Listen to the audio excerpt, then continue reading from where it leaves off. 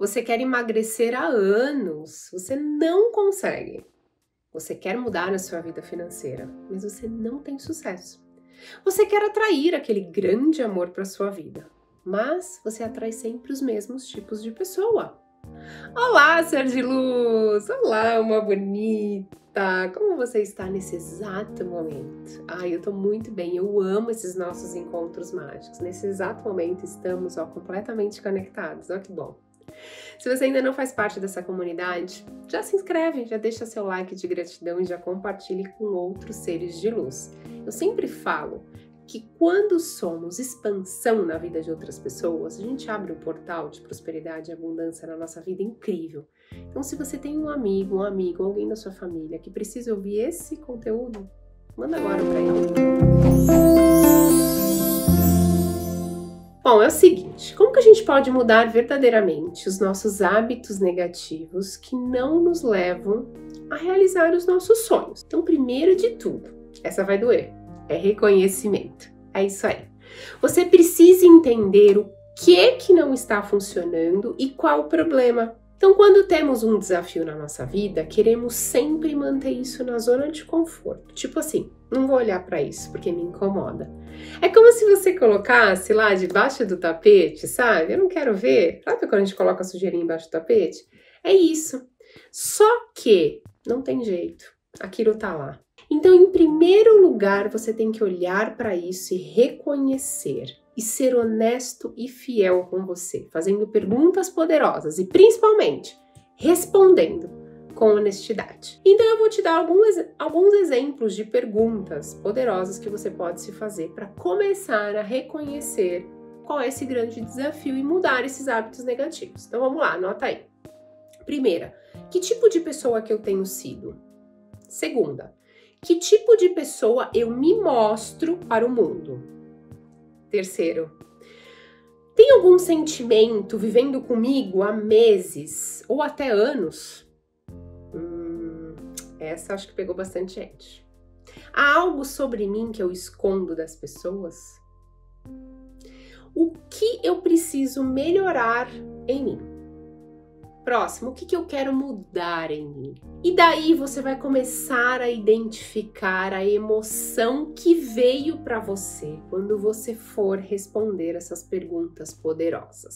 Entendeu? Por exemplo, quando eu respondi que tipo de pessoa eu tenho sido me mostrado para o mundo, veio medo, veio insegurança, quando eu perguntei o que eu preciso melhorar, veio o que? Ansiedade, ódio, depressão, tristeza, ressentimento, ganância, inveja, preocupação, enfim. Você tem que detectar qual emoção apareceu em cada pergunta que você fez. E você coloca essa emoção, essa emoção do lado da pergunta. Quando você responder, você coloca a emoção que veio foi essa. E depois disso, você vai trabalhar uma emoção por vez. Não tenha pressa vai dar tudo certo. Eu já fiz esse teste, eu faço sempre esse exercício comigo.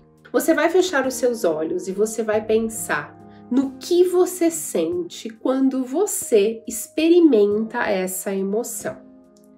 Então, por exemplo, é, observe se quando você sente que você, você fez aquela pergunta, você sentiu medo, vamos supor. E quando você observa para essa emoção, o que, que você sente? Sente uma irritação? Você se sente fraco? Uh, a sua respiração se altera? Você sente alguma dor ou algum aperto no peito? Porque nesse exato momento eu não quero que você tente fugir disso. Veja só, olha que importante. Não se permita se distrair temos a tendência de querer colocar embaixo do tapete as nossas emoções porque elas doem e a gente faz isso há anos ou meses. Então, esse exercício são perguntas poderosas, você vai detectar essa emoção e eu quero que você vá até o fundo sentir essa emoção. Você vai parar de esconder isso e parar de não olhar para isso. Eu quero que você pare de fugir disso e dê atenção a isso.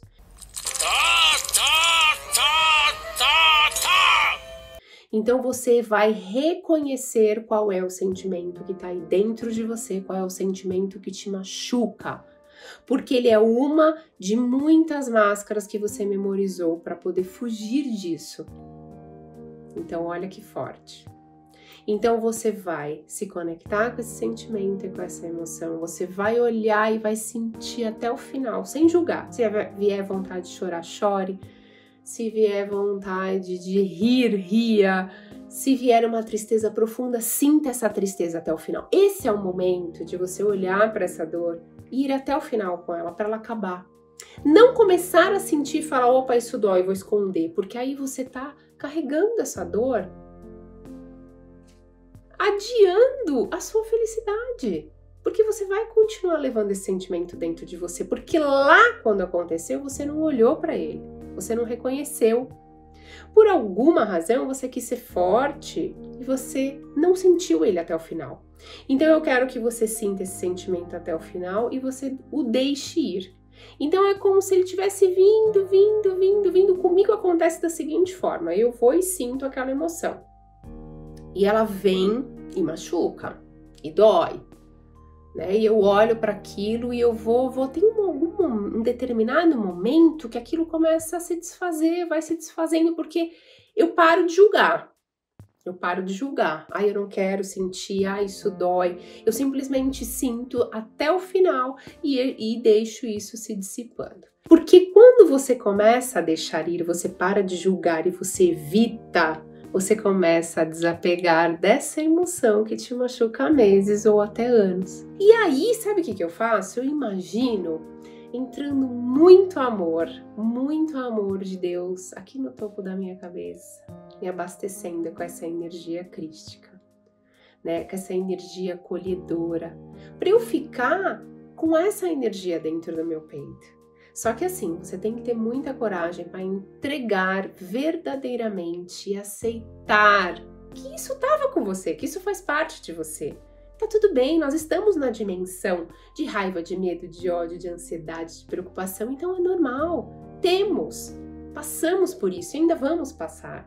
Mas quando a gente olha para isso, a gente sente até o final, isso começa a ir embora e você transforma a sua vida. Por isso que é importante fazer sempre perguntas poderosas para você começar a identificar o que, que vem lá do seu subconsciente, para você olhar para isso, parar de fugir e você sentir isso até o final né? Então, é, é como se você estivesse falando com a sua mente superior. Por exemplo, depois que eu faço todo esse processo, eu sempre faço um mantra. Então, eu sempre falo, mente universal. Eu perdoo todas as minhas preocupações, todas as minhas ansiedades, todas as minhas crenças limitantes. E eu entrego a você nesse exato momento. Eu libero todo o meu sofrimento e eu permito que você haja na minha vida do jeito certo para mim. E aí eu me concentro nesse novo comando, que está sendo feita uma limpeza, que eu estou sendo libertada dessa emoção.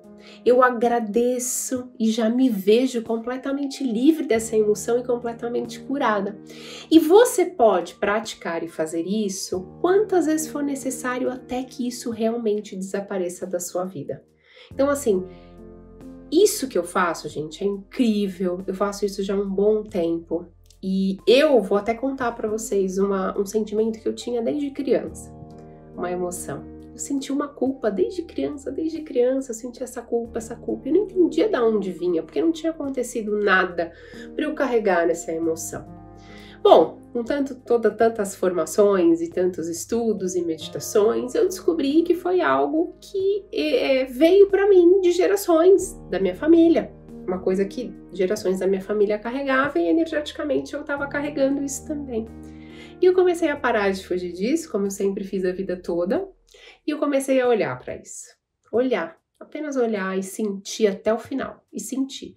E eu fiz esse exercício algumas vezes, confesso, porque eu carrego isso desde a infância. Então é muitos anos não querendo olhar para isso. E até que um dia nunca mais eu senti, e eu não sinto mais. Por quê? Porque eu olhei quantas vezes foi necessário para isso, eu senti até eu não sentir mais.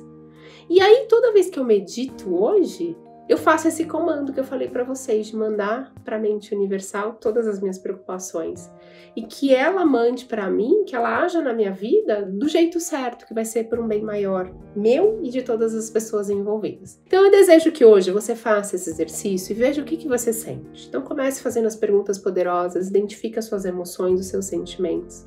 Trabalhe um por vez e vá até o final nesse sentimento, nessa emoção. Não tenha medo. Confie, confie em Deus. E aí você medita e vai descobrindo, cada vez que você faz esse exercício, a grandeza da sua alma. Então é lindo. É um exercício de autoconhecimento que me ajuda até hoje a compreender um pouco mais e a viver melhor nessa dimensão que estamos. Então, depois deixa aqui nos comentários o que, que você achou. Eu desejo que o seu dia seja incrível, que uma bênção esteja aí no seu caminho. Gratidão infinita pela sua conexão e até a próxima!